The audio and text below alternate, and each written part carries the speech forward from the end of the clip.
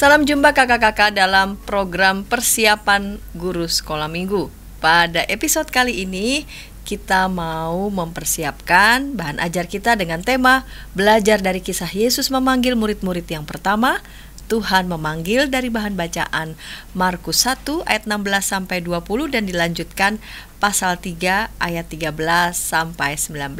Dan sebelum kita bersama-sama melakukan persiapan, saya mengajak kita berdoa. Mari kita berdoa. Bapa di surga, pada hari ini kami bersama-sama dengan anak-anakmu yang masih terus setia mau menyampaikan firman Tuhan kepada anak-anak sekolah minggu. Kami mau melakukan persiapan bersama. Berikan kepada kami hikmat, berikan kepada kami ketenangan, berikan kepada kami sukacita, sehingga apa yang kami persiapkan ini sungguh boleh menjadi berkat. Di dalam Kristus kami berdoa. Amin.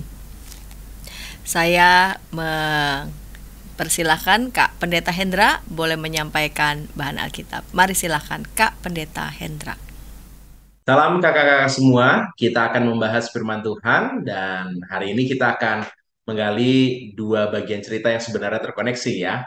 Dari Markus pasal yang pertama ayat 16 sampai dengan 20, kemudian yang kedua dari Markus 3 ayat 13 sampai 19. Saya akan bacakan buat kita ya kakak-kakak. Markus 1 ayat 16 sampai dengan ayatnya yang ke-20. Ketika Yesus sedang berjalan menyusur Danau Galilea, ia melihat Simon dan Andreas saudara Simon. Mereka sedang menebarkan jala di danau, sebab mereka penjala ikan. Yesus berkata kepada mereka, Marilah, ikutlah aku dan kamu akan kujadikan penjala manusia. Mereka pun segera meninggalkan jalannya dan mengikuti dia. Dan setelah Yesus meneruskan perjalanannya sedikit lagi, dilihatnya Yakobus, anak Zebedeus, dan Yohanes saudaranya sedang membereskan jala di dalam perahu. Yesus segera memanggil mereka dan mereka meninggalkan ayahnya, Zebedeus, di dalam perahu bersama orang-orang upahannya lalu mengikuti dia. Kita lanjutkan dengan Markus pasal yang ketiga. Markus 3 ayatnya yang ke-13 sampai dengan ayatnya yang ke-19. Kemudian naiklah Yesus ke atas bukit. Ia memanggil orang-orang yang dikehendakinya dan mereka pun datang kepadanya. Ia menetapkan 12 orang untuk menyertai dia dan untuk diutusnya memberitakan Injil dan diberinya kuasa untuk mengusir setan. Kedua belas orang yang ditetapkan itu ialah Simon yang diberinya nama Petrus, Yakobus anak Zebedeus dan Yohanes saudara Yakobus, yang keduanya diberi nama Boanerges, yang berarti anak-anak guntur. Selanjutnya Andreas, Filipus, Bartolomeus, Matius, Thomas, Yakobus anak Alfeus, Tadeus, Simon orang Zelot, dan Yudas Iskariot yang mengkhianati dia. Biarlah kakak-kakak firman Tuhan yang kita akan bagikan kepada adik-adik. Tema kita adalah belajar dari kisah Tuhan Yesus memanggil murid-muridnya yang pertama. Dan kita mau memperkenalkan Tuhan sebagai Tuhan yang memanggil setiap orang. Ini pesan utama yang kita akan sampaikan kepada adik-adik. Tuhan memanggil. Kalau lihat dari ayat yang ke-16, maka kita akan menemukan beberapa hal penting kakak-kakak.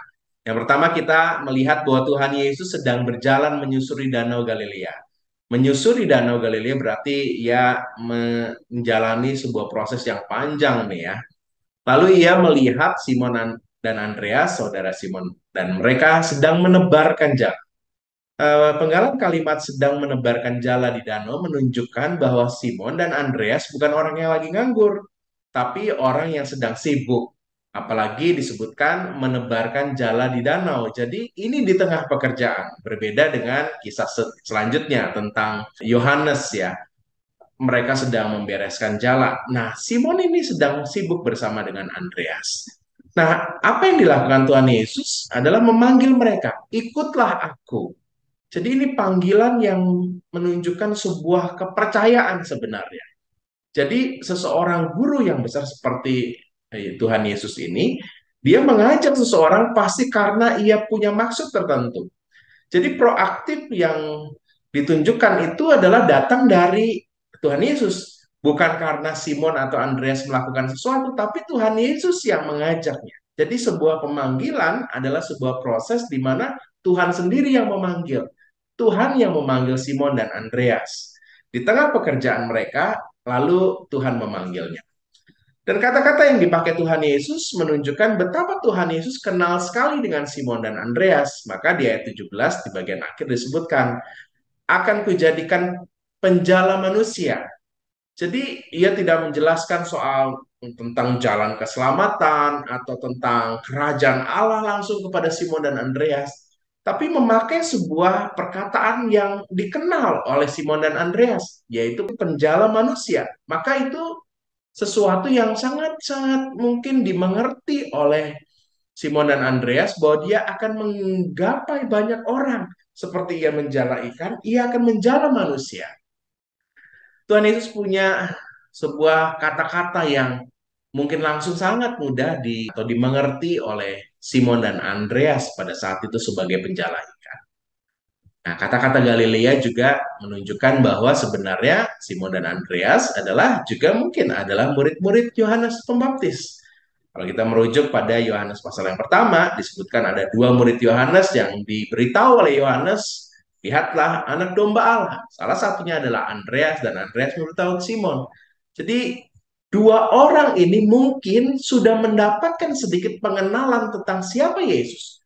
Maka ketika Tuhan Yesus memanggil ikutlah aku, wah mereka sudah langsung siap sekali, kenal siapa yang memanggilnya.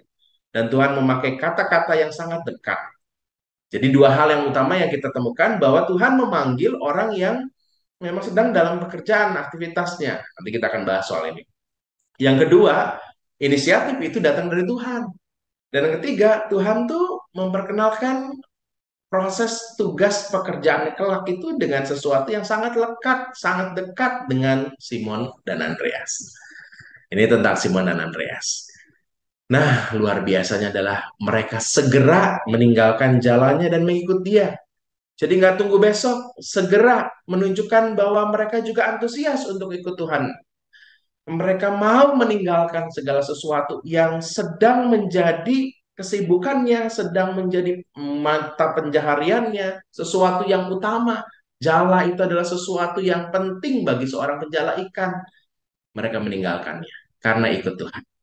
Ini catatan penting buat kita-kita yang dipanggil Tuhan. Apakah kita juga berani meninggalkan banyak hal? Bukan hanya pekerjaan, materi, tapi juga keakuan diri, kesombongan. Kita mau ikut Tuhan menampakinya. Kisah kita dilanjutkan dengan pemanggilan Yohanes dan juga Yakobus. Nah, kalau yang ini mereka sedang membereskan jalannya. Berbeda dengan Simon dan Andreas, kali ini Yakobus dan juga Yohanes sedang bekerja, tapi sedikit sudah selesai nih ya. Mereka sudah selesai melakukan aktivitas menjala ikan di danau dan mereka sedang membereskan. Tuhan Yesus juga memanggil orang yang sedang melakukan pekerjaan ini. Jadi baik Yakobus, Yohanes, Simon, Andreas adalah orang-orang yang bukan nganggur, mereka orang-orang sibuk. Jadi kakak-kakak kalau kita diminta untuk pelayanan, untuk ikut Tuhan, untuk melakukan sesuatu yang jauh lebih besar, mungkin karena Tuhan tahu ya kita ini adalah orang-orang yang bertanggung jawab mungkin. Seperti Simon Andreas, dia sedang melakukan tugasnya sebagai seorang penjala ikan. Dia bertanggung jawab atas profesinya. Yakobus Yohanes membereskan. Membereskan jala itu menjadi sesuatu yang penting agar besok ia bisa melakukan kembali aktivitas menjala ikan. Kalau nggak diberesin, mungkin ada yang sobek, ada yang ada yang perlu diperbaiki, nggak ketahuan, atau ada ikan yang tersangkut, jadi busuk. Itu sesuatu yang harus dikerjakan oleh para penjala ikan, yaitu membereskan sesuatu, menunjukkan bahwa besok dia bisa melakukan kembali tanggung jawabnya sebagai penjala ikan. Nah, ini menunjukkan bahwa Yakobus Yohanes ini, anak-anak Zebedeus ini adalah orang-orang yang bertanggung jawab. Dan Tuhan panggil orang-orang yang bertanggung jawab itu. Sama seperti Simon dan Andreas dalam kisah kita ini disebutkan Yakobus dan Yohanes ini segera ya, segera nah, Tuhan Yesus segera memanggil dan juga diresponi mereka meninggalkan ayahnya. Gak kasihan yang ninggalin ayahnya. Kita lihat ya ayat 20 bahwa mereka Yakobus dan juga Yohanes meninggalkan ayahnya tidak sendiri, tapi bersama orang-orang upahannya lalu mengikuti dia. Jadi ini menunjukkan bahwa dia nggak membuat beban pekerjaan, dia selesaikan dulu, dia lalu mempercayakan kepada orang-orang yang bisa membantu ayahnya. Jadi ini penting untuk bertanggung jawab bukan hanya dengan pekerjaan yang saat ini dilakukan, tapi juga menyelesaikan dengan baik dan mengikuti Tuhan dengan bertanggung jawab. Inilah pemanggilan murid-murid yang pertama dan dalam kisah kita yang selanjutnya di Markus 3 disebutkan Tuhan Yesus juga memanggil banyak orang memanggil orang-orang yang banyak. Jadi murid-murid Tuhan Yesus bukan hanya 12, tapi juga orang-orang yang dipanggil sesuai dengan kehendaknya. Jadi yang berkehendak adalah sekali lagi Tuhan. Dipanggil, semua orang bisa dipanggil. Tapi Tuhan Yesus menetapkan 12 orang yang menyertai dia. Jadi ini ini inner circle-nya Tuhan Yesus nih. Ini orang-orang utamanya Tuhan Yesus ada 12 ya. Mereka diutus untuk memberitakan Injil dan bahkan diberikan kuasa untuk mengusir setan.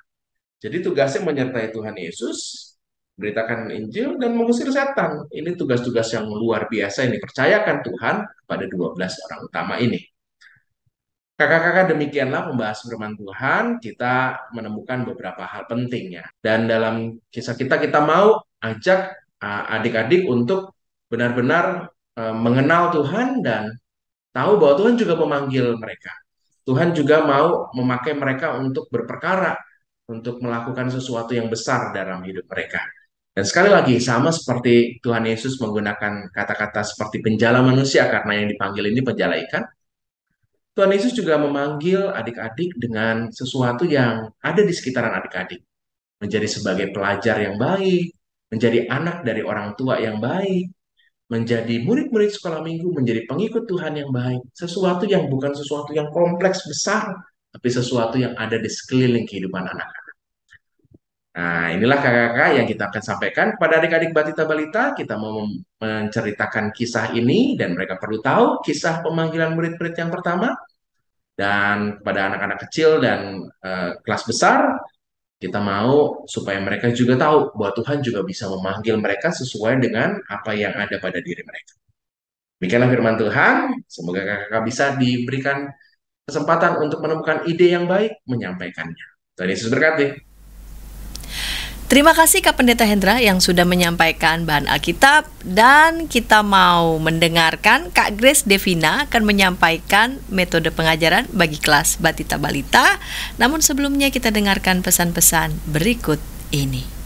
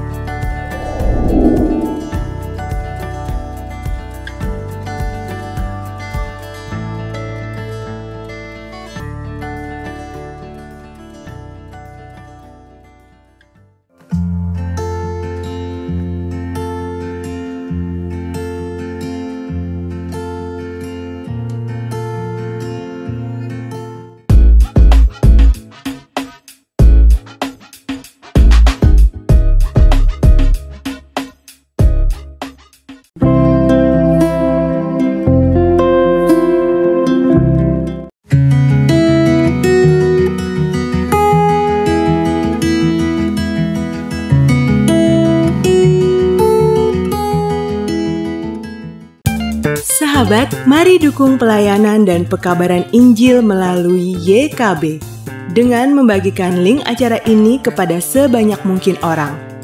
Dukungan juga dapat saudara lakukan dengan mentransfer dukungan finansial ke rekening BCA ke nomor 450 305 2990 450 305 2990 atas nama Yayasan Komunikasi Bersama.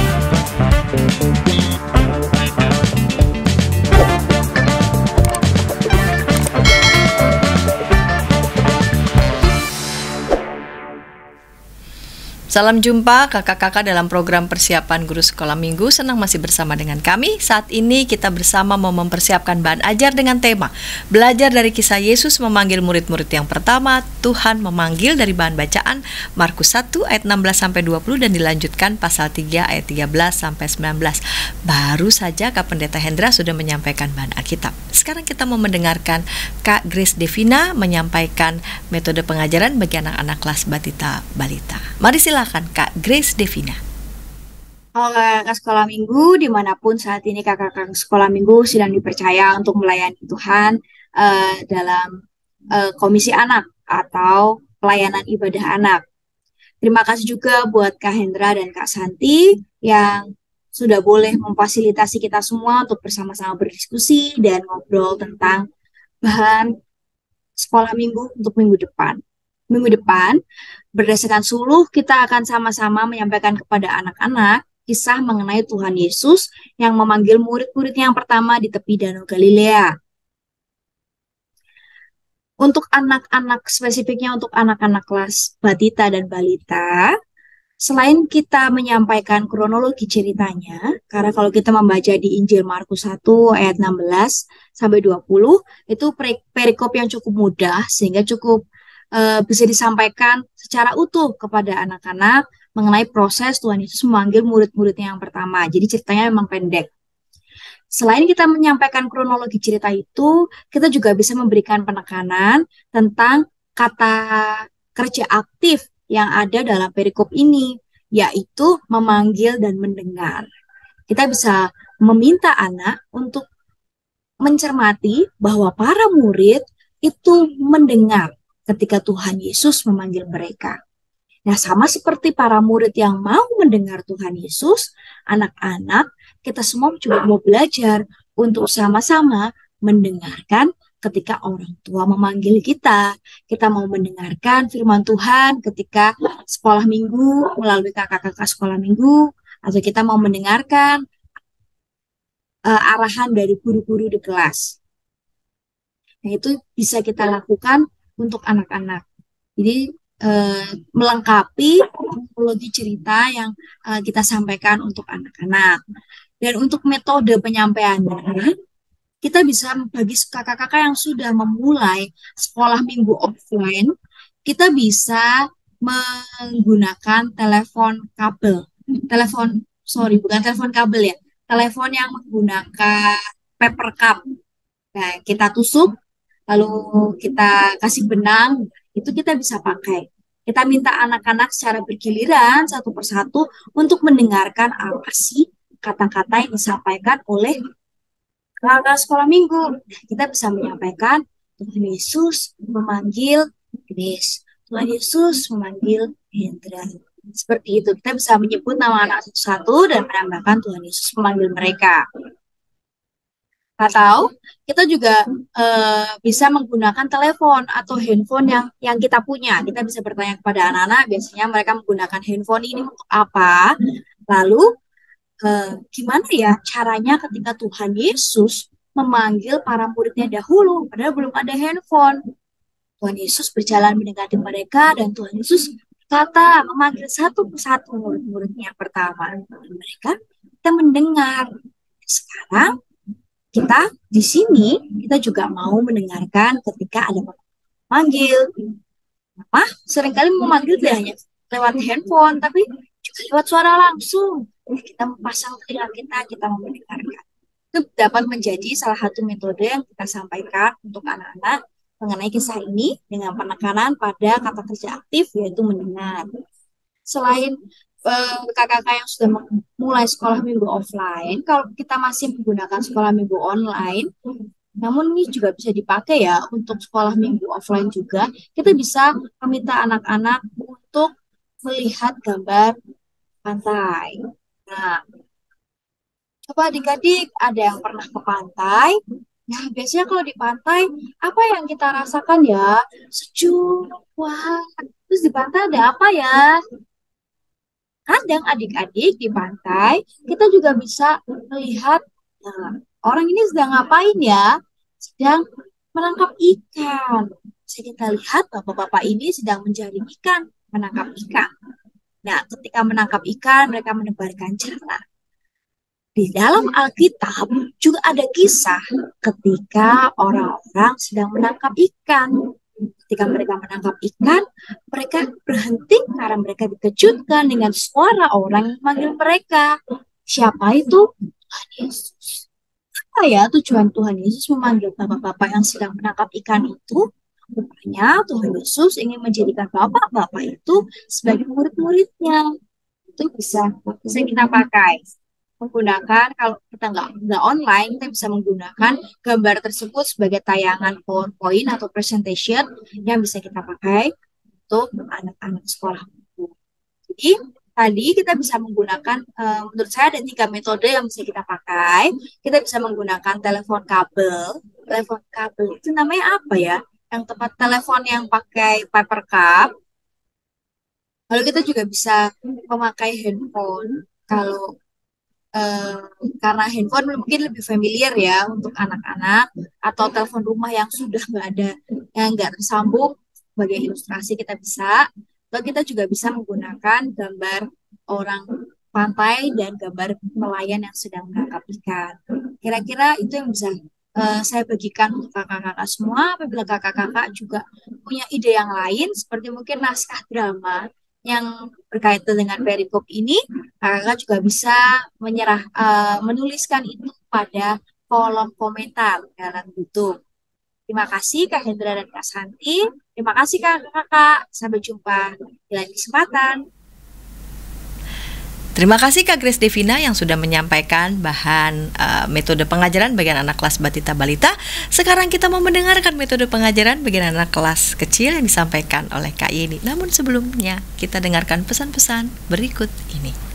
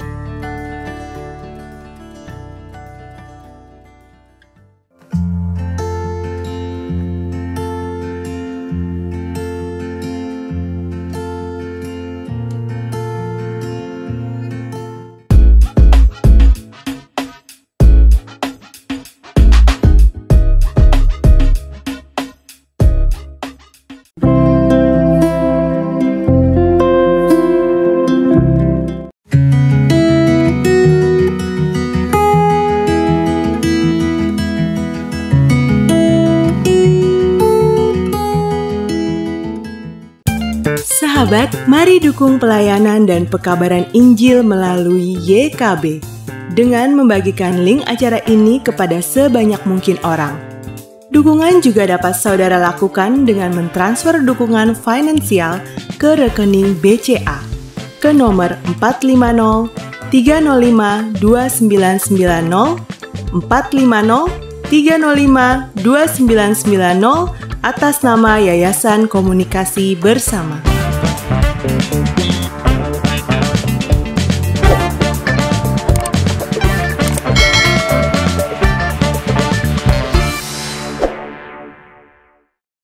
Kakak-kakak, senang masih bersama dengan kami dalam program persiapan guru sekolah minggu.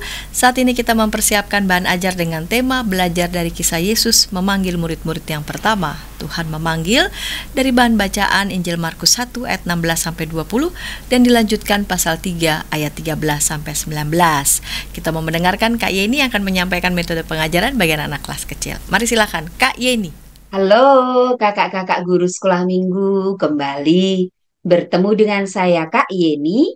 Kali ini saya ingin memberikan beberapa ide tentang bagaimana menyampaikan pelajaran Yesus memanggil murid-murid pertama untuk kelas kecil.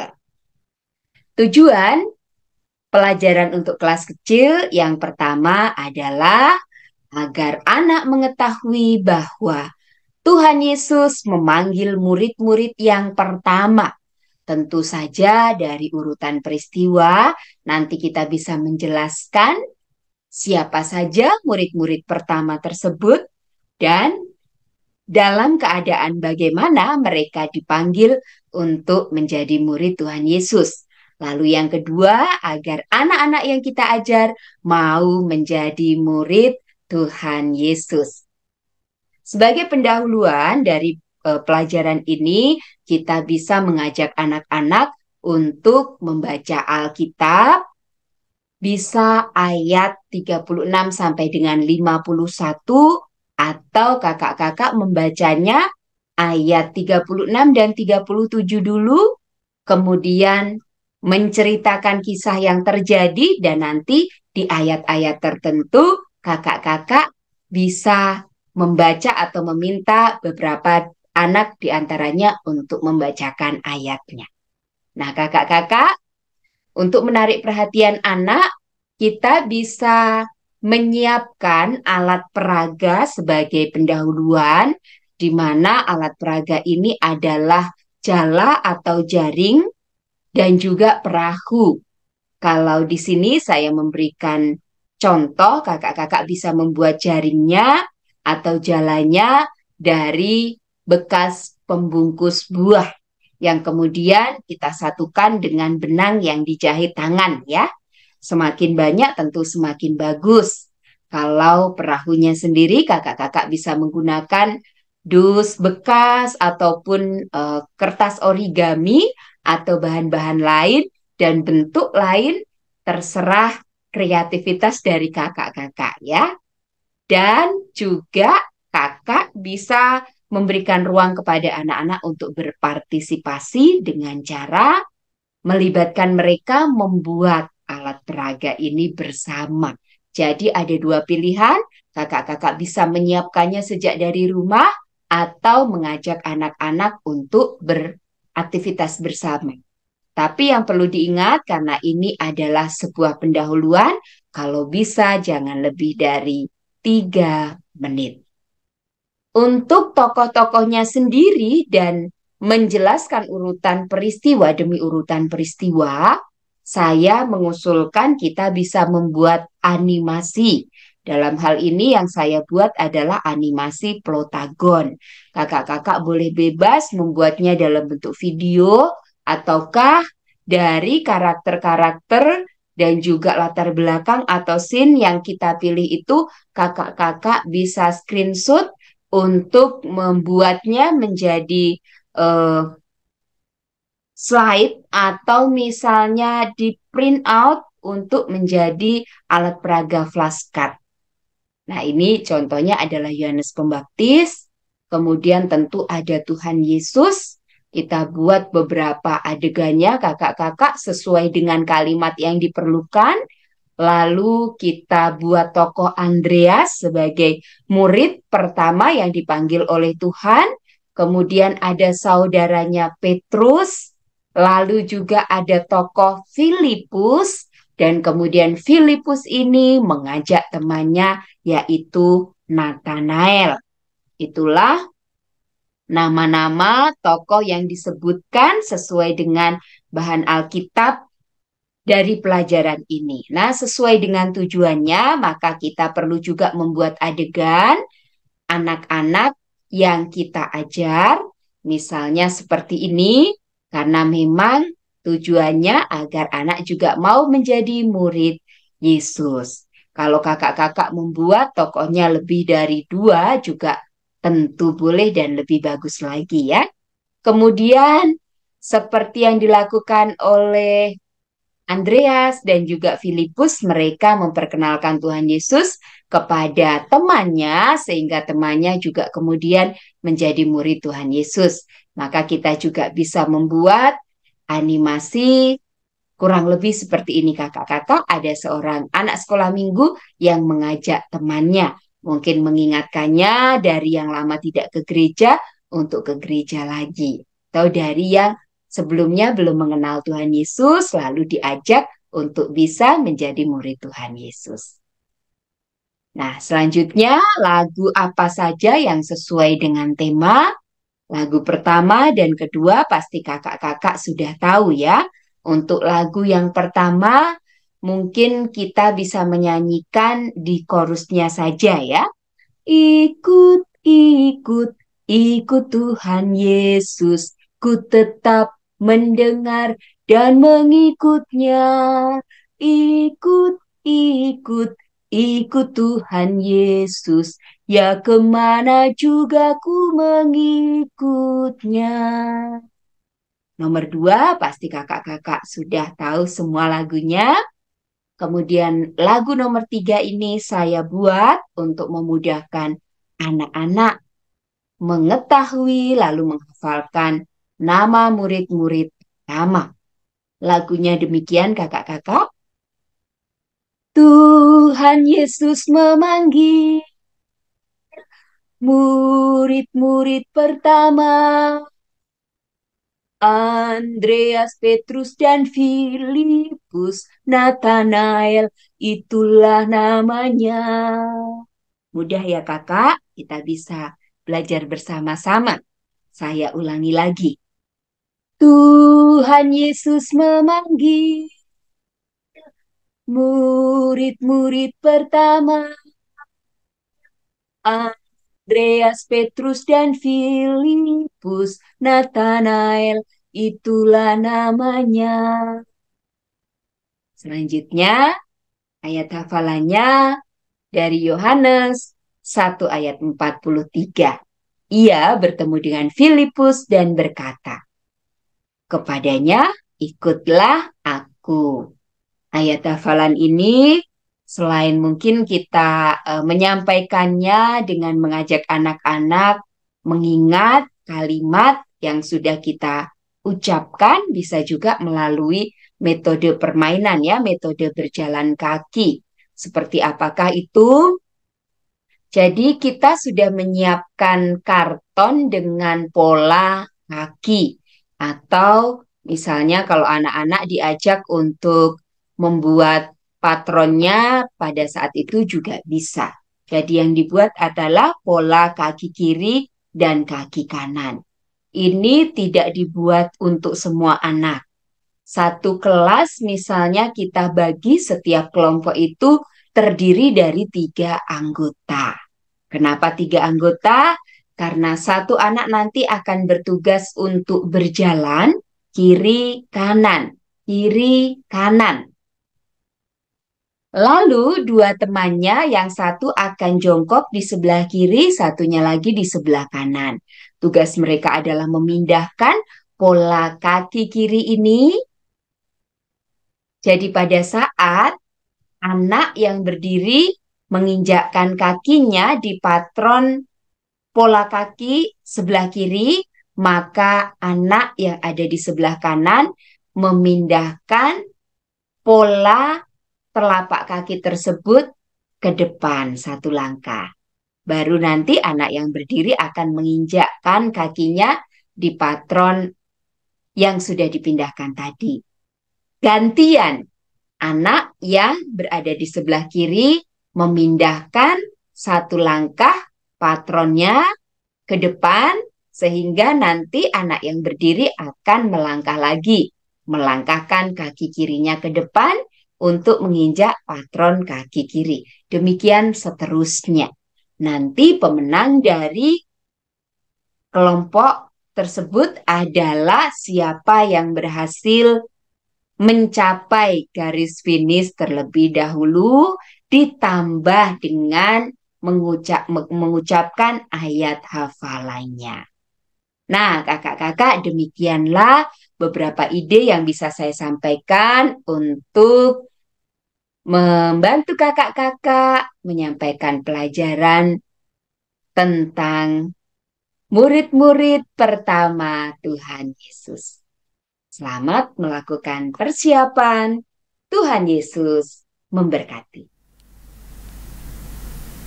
Terima kasih Kak Yeni yang sudah menyampaikan metode pengajaran bagi anak-anak kelas kecil. Sekarang kita mau menuju Kak Pendeta Stefani yang mau menyampaikan metode pengajaran bagi anak-anak kelas besar. Namun sebelumnya kita dengarkan pesan-pesan berikut ini.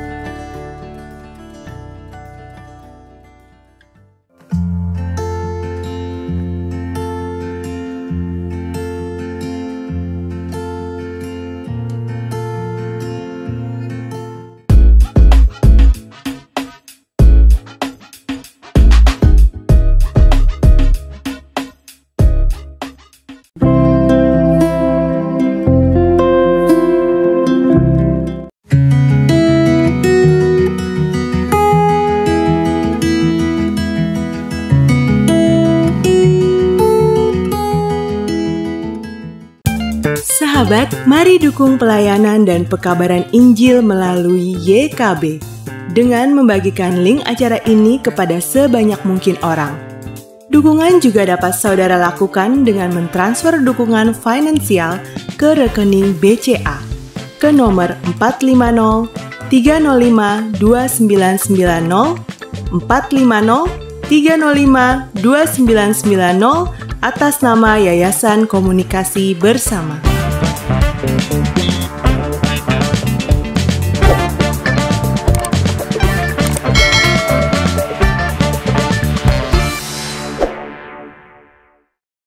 Kakak-kakak senang masih bersama dengan kami dalam program persiapan guru sekolah minggu. Saat ini kita mempersiapkan bahan ajar dengan tema belajar dari kisah Yesus memanggil murid-murid yang pertama. Tuhan memanggil dari bahan bacaan Injil Markus 1 ayat 16 sampai 20 dan pasal 3 ayat 13 sampai 19. Sekarang kita mau mendengarkan metode pengajaran di kelas besar yang akan disampaikan oleh Kak Pendeta Stefani. Mari silahkan Kak Pendeta Stefani. Halo kakak-kakak, pada hari ini saya akan men-sharingkan metode pembelajaran yang bisa kita sampaikan kepada adik-adik kita di kelas besar dengan tema Tuhan memanggil yang diambil dari Markus pasal 1 ayat 16 sampai 20 dan juga kemudian bisa dilanjutkan di Markus pasal 3 ayat 13 sampai dengan ayat yang ke-19 kita bisa lihat bersama-sama tujuan yang mau kita sampaikan kepada anak-anak ada dua. Yang pertama, anak-anak mengetahui bahwa Tuhan Yesus memanggil murid-muridnya yang pertama. Dan yang kedua, anak menjawab panggilan Tuhan dengan mengenalnya secara pribadi. Jadi ada dua tujuan ini yang mau kita sampaikan atau capai bersama-sama dalam pokok pembelajaran pada kali ini. Nah, kakak-kakak untuk yang pertama, jadi uh, setelah berdoa gitu ya, kakak-kakak kita akan mengajak anak-anak untuk bermain games terlebih dahulu. Nama gamesnya adalah Santap, yaitu Sandi Ayat Alkitab. Jadi kakak-kakak, nanti anak-anak akan kita ajak untuk bisa uh, mencari tahu kata yang dibentuk gitu ya dari susunan gambar-gambar eh, yang ada di eh, gambar ini gitu ya. Jadi nanti misalkan nih ini ada gambar labu gitu ya. Labu itu huruf apa? T. Oh berarti ini T. Nah yang selanjutnya ini nanti anak-anak eh, kita minta untuk mencari. Jadi nanti anak-anak diminta untuk mencari eh, dari gambar-gambar ini tersusun kata apa gitu ya. Nah, sembari anak-anak mengerjakan kakak-kakak, nanti kakak-kakak meminta anak-anak untuk membantu. Jadi misalkan mereka sedang mengerjakan, kakak-kakak memanggil gitu ya. Eh, anak-anak uh, gitu atau adik-adik ada yang bisa bantu kakak ini kakak perlu bantuan gitu ya jika kakak-kakak uh, di sekolah minggunya sudah on site jadi minta anak tersebut untuk bisa maju ke depan jadi bisa siapa sini yang boleh uh, maju ke depan bantu kakak dong gitu ya. Jadi ketika mereka sedang mengerjakan sesuatu, kakak-kakak meminta mereka untuk bisa membantu. Nanti dari situ kita akan lihat responnya, apakah mereka acuh tak acuh, mereka tidak mau mendengar, atau justru uh, anak-anak kita tetap mau membantu menolong kakak-kakak yang sedang meminta bantuan. Nah, nanti uh, setelah mereka uh, mungkin ada yang maju gitu ya kakak-kakak bisa uh, meminta mereka mungkin untuk menggunting atau mungkin menulis sesuatu gitu ya. Ya setelah mereka melakukan mereka bisa duduk. Nah nanti setelah itu kakak-kakak akan men-sharekan bahwa ternyata dari uh, gambar-gambar yang disusun akan membentuk kata Tuhan dan kata memanggil. Dan inilah yang kemudian digabungkan menjadi tema pada hari ini adik-adik begitu yaitu temanya adalah Tuhan memanggil gitu. Jadi kita uh, mengajak anak-anak untuk bisa memecahkan clue juga tetapi juga di tengah itu anak-anak apakah mau uh, ketika kita panggil untuk menolong. Nah, setelah itu kita bisa mengajak anak-anak untuk berefleksi uh, secara singkat bahwa ternyata ketika kita melakukan sesuatu, mengerjakan sesuatu dan kita dipanggil, rasanya mungkin mengganggu gitu ya. Sehingga kita enggan untuk mau menolong atau mau mendengar panggilan itu. Nah, kemudian kita bisa masuk di dalam uh, pembahasan kita. Ternyata pada saat zaman dahulu ada juga loh anak-anak, adik-adik yang juga mendapat panggilan. Ternyata panggilan itu berasal dari Tuhan Yesus. Nah, kemudian uh, kakak-kakak bisa masuk uh, dalam poin yang pertama dari tujuan kita um, menceritakan tentang bagaimana Yesus memanggil murid-muridnya yang pertama. Jadi kakak-kakak bisa sampaikan ini begitu ya dan menyampaikan bahwa ketika Tuhan Yesus memanggil ternyata murid-murid juga tidak dalam keadaan sedang menganggur gitu ya atau sedang santai, tapi mereka juga sedang melakukan pekerjaan, tapi mereka mau untuk dipanggil dan datang kepada Tuhan Yesus. Kemudian kita akan masuk ke dalam uh, pokok pembahasan yang kedua atau tujuan yang kedua, bagaimana menjawab panggilan Tuhan gitu ya, dan apakah kita mau mengenalnya. Nah, dalam pembahasan ini kakak-kakak bisa memaparkan dari uh, bacaan yang juga telah disediakan. Setelah itu kita ajak anak-anak untuk belajar memilih. Jadi jika eh, kakak-kakak uh, di sekolah minggu kita sudah onsite, uh, kita bisa minta anak-anak untuk berbaris gitu ya, uh, lurus ke belakang. Kemudian kakak-kakak bisa menampai, menampilkan gambar ya, ya ini dua pilihan. Jadi kakak silahkan mungkin melalui uh, proyektor atau mungkin gambar yang di print boleh. Jadi nanti kita meminta anak-anak untuk memilih. Jadi anak-anak, adik-adik, uh, jika ada dua pilihan, kita dipanggil untuk bisa pergi ke gereja dan kemudian kita dipanggil ternyata untuk gimana ya ada film-film kartun menarik di YouTube. Kira-kira kita pilih mana ya? Nah untuk anak-anak nanti bisa bergeser. Jadi kalau dia memilih untuk pergi ke gereja dia akan bergeser ya uh, di depan gambar uh, yang akan pergi ke gereja. Kalau ada yang memilih nonton YouTube kayak lebih enak nanti dia diminta untuk bergeser di barisan atau di depan gambar uh, YouTube, logo YouTube begitu ya. Nah, itu. Kemudian setelah itu oke, okay, sudah uh, sudah Kakak lihat nih ternyata pilihannya. Oke, coba kita yang kedua gitu ya. Pilihan yang kedua. Nah, pilih pergi ke gereja atau bermain gadget ya, bermain games ya di HP. Nah, ini metodenya tetap sama tuh nanti untuk memilihnya. Yang ketiga, pergi ke gereja atau main lato-lato ya sama teman-teman di depan rumah gitu ya.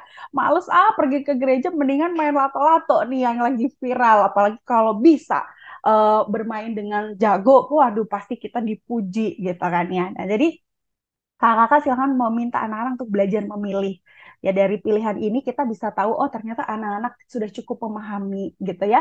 Uh, ternyata uh, kita tuh dipanggil oleh Tuhan untuk bisa terus datang dan apa sih jawaban kita bagaimana sih kita merespon panggilan itu? Sebaiknya kita terus mau mendengar panggilan Tuhan. Nah, itu nanti kakak-kakak bisa arahkan anak-anak dan berefleksi dari jawaban mereka. Nah, setelah itu kakak-kakak uh, kita bisa menutupnya dengan bersama-sama memujikan dengar dia panggil nama saya tapi kita akan memakai sebuah gerakan gitu ya sebagai simbol atau menunjukkan uh, bagaimana sih uh, lagu ini mau berbicara pada kita. Jadi gerakannya dengar dia panggil gitu ya nama saya. Dengar dia panggil namamu. Dengar dia panggil nama saya juga dia panggil namamu. Ku jawab ya, ya, ya. Ku jawab ya, ya, ya. Ku jawab ya Tuhan, ku jawab ya Tuhan, ku jawab ya, ya, ya. Nah, jadi ini simbol gitu ya, gerakan yang ini bisa mengingatkan anak-anak bagaimana ketika kita dipanggil Tuhan, anak-anak jawabannya. Nah, kita bisa pakai ini sebenarnya untuk sebagai sebuah apa semacam slogan gitu ya, yang menutup cerita. Jadi begitu kakak-kakak, selamat mempersiapkan Tuhan Yesus memberkati. Terima kasih ke Pendeta Stefani yang sudah menyampaikan metode pengajaran bagi anak kelas besar dan kami sudah merampungkan dari mulai bahan Alkitab sampai metode pengajaran bagi anak-anak kelas batita balita, kelas kecil dan kelas besar. Sekarang kita mau mengakhiri uh, persiapan kita, namun sebelumnya saya mengajak kita untuk berdoa. Mari kita berdoa. Bapa di surga, kami boleh menyampaikan bahan Alkitab maupun juga metode pengajaran bagi setiap kelas. Kiranya ini boleh menjadi berkat, menjadi inspirasi bagi kakak-kakak guru sekolah minggu yang masih perlu untuk menyempurnakan, mematangkan persiapan sesuai dengan konteks uh, di mana mereka boleh melayani anak-anak di tempat masing-masing. Berikan kepada mereka hikmat, berikan juga kegembiraan kepada kami semua. Terima kasih Bapa di sorga, dalam Kristus kami berdoa. Amin. Terima kasih kakak-kakak, sampai jumpa di persiapan Guru Sekolah Minggu episode yang mendatang. Sampai jumpa.